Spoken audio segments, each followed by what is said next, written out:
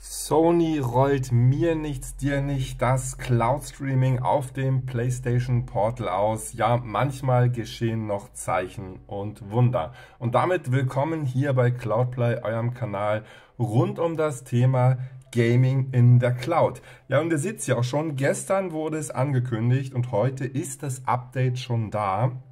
Was könnt ihr denn daran erkennen, dass ihr hier unter System System Geräteinformation, die Systemsoftware 4.0 habt. Also das ist jetzt das neue Update, mit dem ihr auch auf dem Portal Cloud Streaming betreiben könnt. Ja, und wie das genau funktioniert, schauen wir uns jetzt mal an. Ihr seht es auch hier, ihr habt hier einen neuen Eintrag, Cloud Streaming Beta. Da wird euch nochmal darauf hingewiesen, was das bedeutet. PlayStation Plus Premium-Nutzer können ausgewählte Streaming-Spiele für PS5 aus dem Spielekatalog spielen. Wenn Cloud Streaming Beta eingeschaltet ist, wird diese Funktion nun auf der Startseite hinzugefügt. Wenn du mehr darüber wissen willst, ja, ja, ja und so weiter. So, was ist der große Unterschied zum bisherigen Nutzen? Bisher konnte man die Portal ja nur als Remote Player verwenden. Das heißt, man brauchte eine PlayStation 5 oder hier eine PlayStation 5 Pro, konnte die dann mit Remote Play verbinden und dann die Spiele ja eigentlich auf der PlayStation spielen und sie wurden dann sozusagen per Remote Play auf die Portal gestreamt. Aber mit dem neuen Update haben wir jetzt auch die Möglichkeit, Spiele aus dem Spielekatalog zu streamen. Das heißt, man braucht im Prinzip gar keine PlayStation mehr, sondern nur noch die Portal, klar, und ein PS Plus Premium Abo. Und wie das aussieht, schauen wir uns das mal äh, an. Wir gehen hier auch auf, äh, aus dem Spielekatalog Stream und das ist auch schon das äh, simple User Interface. Das heißt, wir sehen hier alle möglichen Spiele, die verfügbar sind. Äh, es sind so um die 200. Also die sind, ähm, das sind sozusagen alle Spiele, die ähm, sowohl in PS Plus verfügbar sind, als auch für das Cloud Streaming ähm, freigeschaltet sind. So, und hier schon mal ein paar Informationen, die ich euch zeigen will. Ah, nee, das geht erst, wenn man das Spiel startet. Okay, dann starten wir einfach mal ein Spiel. Also ich habe hier schon mal ein paar Spiele getestet. Hier Assassin's Creed Valhalla zum Beispiel. Ähm, da geht man halt drauf und dann steht hier, das Spiel wird vorbereitet. Und dann kann es auch gleich losgehen. Dann sehen wir auch mal live, wie lange das dauert, bis sich sowas aufbaut. Die Verbindung zu dem Server wird jetzt eingerichtet. Das Spiel beginnt in Kürze. Wir sehen es hier auch auf dem Bildschirm. Und nochmal, der große Unterschied ist jetzt, ihr braucht hier keine PlayStation 5 mehr. Das muss nirgendwo mehr installiert sein, sondern das Portal verbindet sich jetzt direkt mit dem Streaming-Server von Sony, startet da das Spiel und ihr habt Cloud-Streaming auf dem Portal. So, Gesundheitsschutzinformation, ja. Die kann man leider immer noch nicht abbrechen. So, aber jetzt Assassin's Creed Valhalla. Nichts installiert, nichts vorbereitet, einfach nur per Cloud Streaming gestartet. Richtig, richtig cool. So, und was uns jetzt natürlich vor allem interessiert ist, wie performt das Ganze dann? Also vor allem, wie ist es äh, mit der Bildrate? Wie ähm, ist es auch mit, den, äh, mit der Bitrate? Ist das alles flüssig? Haben wir Tearing? Haben wir Blocking? Stockt der Sound? Und so weiter und so fort. So, dann gehen wir hier mal auf Fortsetzen. Ich mache auch gleich mal ein bisschen lauter. Das ist auch ein bisschen laut. So, hier können wir schon mal ein bisschen schauen, ne? also wo, wo man immer ganz gut erkennen kann, ob das Ganze flüssig ist, wenn man einfach mal wirklich maximal den Controller an Anschlag dreht und dann guckt, hackt es irgendwo. Und ja, also ich weiß nicht, ob das hier auf dem Video rüberkommt, aber es sieht wirklich fantastisch aus. Man sieht kein Stocken, kein Laden. So, jetzt sind wir hier auch in Refnatorp. Laufen mal ein bisschen durch die Gegend. Ja, und Wahnsinn. Also eine Wahnsinnsqualität. Vergleichbar, also ununterscheidbar eigentlich auch von einem Remote Play. Das war ja auch schon immer sehr, sehr gut. Vorausgesetzt, man hatte natürlich ein gutes Netzwerk. Gehen wir auch mal in den Raben. Sühnen, leite mich.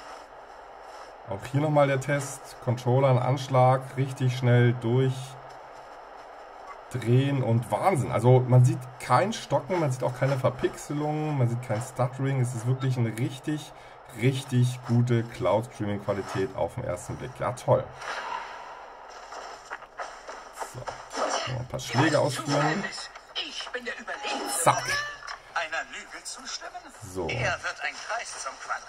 Drehen die natürlich ja erstmal ein bisschen so. Oh, was ich euch noch zeigen wollte.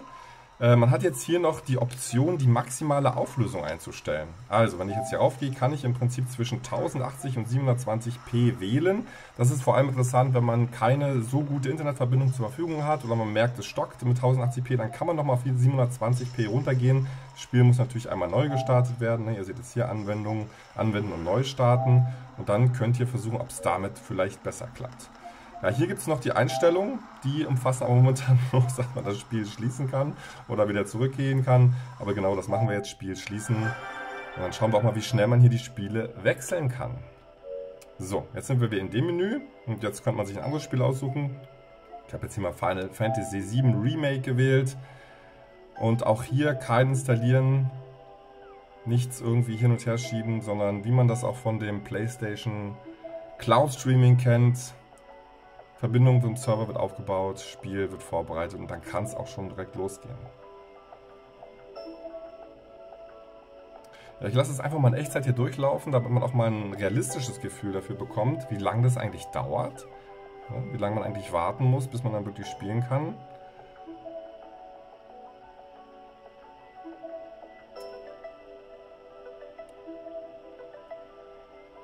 Spiel beginnt in Kürze. Na gut. Also als ich es vorhin getestet habe, ging es schnell. Ah ja. Aber es ist auch mal gut, wenn man mal so ein Beispiel hat, wo man auch mal wirklich realistische Zeiten drin hat. So. Final Fantasy VII, äh, Final Fantasy VII Remake, auch hier ähm, könnt ihr dann relativ schnell in das Spiel rein. Jetzt nicht hier, glaube ich, hier beim Kampfsimulator. Ja, genau. Aber auch uns interessiert erstmal die Streaming-Performance. Packt der Sound. Gibt es sonst Aussetzer? Und hier sind, glaube ich, ein paar Monster, die wir mal kurz verkloppen können. Genau. So, ich habe hier auch schon die Götterdämmerung, deshalb kann ich gleich den Limit reinhauen und Hackfleisch aus den Monstern machen. Zack, der ist schon weg. Cloud prügelt trotzdem noch rein. Ach, Cloud. Oh, hat uns sie aber ganz schön erwischt gerade.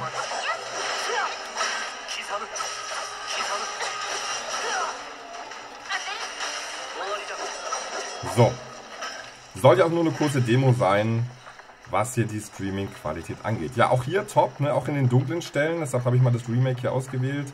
Ähm, auch in den dunklen Stellen sieht man im Prinzip keine Blockbildung oder Verpixelung. Das ist ja eigentlich die große Schwachstelle von Cloud Streaming unter anderem, ähm, dass man nur einer geringeren Bitrate da immer schnell äh, ein paar Streaming-Artefakte sieht, aber auch davon ist nichts zu sehen hier. Auch der Ping ist eigentlich nicht spürbar, also wie man das von Sony Cloud Streaming kennt. Hängt natürlich immer von eurer eigenen Netzwerkarchitektur bzw. eurer Internetverbindung ab, also einfach mal testen. So, also auch hier alles super. System, Titelbildschirm, ja, zurückkehren und dann auch hier. Ihr könnt übrigens auch einfach hier so ein bisschen rüber swipen und dann kommt ihr auch in dieses Menü. Auch hier sozusagen das Spiel schließen, um wieder in das Menü zurückzukommen, das Cloud Streaming Menü. Ja, und jetzt, ich gehe jetzt einfach nochmal alle Spiele durch. Äh, wie gesagt, ich scroll die langsam durch, dann könnt ihr euch äh, das Ganze nochmal in Zeitlupe angucken oder zurückscrollen, während ich hier die Abmoderation mache. Ja, äh, wie schon am Anfang gesagt, unverhofft kommt oft. Ne? Gestern angekündigt, heute ist das Update da und ähm, das, auf das wir alle so lange gewartet haben. Endlich können wir Cloud Streaming auf dem Portal betreiben, ohne dass wir extra eine PS5 dazu brauchen. Das ist doch eigentlich wirklich Wahnsinn.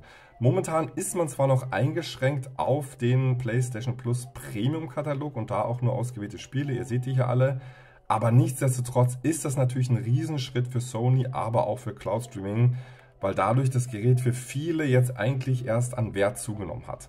Vorher musste man halt immer die PS5 ähm, im Standby-Modus betreiben, damit man sie durch das Portal aktivieren konnte, wenn man nicht zu Hause war. Da musste man immer schauen, geht denn der Bildschirm jetzt mit an, muss ich da irgendwas einstellen, ähm, HDMI-Kabel ziehen oder nicht. Also es war immer ein riesen Gefummel. Aber jetzt könnt ihr euch das alles sparen und könnt sozusagen die Portal auch ohne PS5 betreiben. Schreibt es auch mal gerne, was ihr davon haltet in die Kommentare. Ich bin super gespannt. Ich hoffe, der kleine First Look hier hat euch Spaß gemacht. Wenn ja, gerne einen Daumen hoch oder auch gerne ein Abo. Und schreibt gerne auch, was, noch, äh, was für Spiele wir hier noch testen sollen auf der Portal mit PlayStation Plus Cloud Streaming in der Beta. Ich bin ein Lied, ich bin raus. Danke, dass ihr zugeschaut habt. Ciao.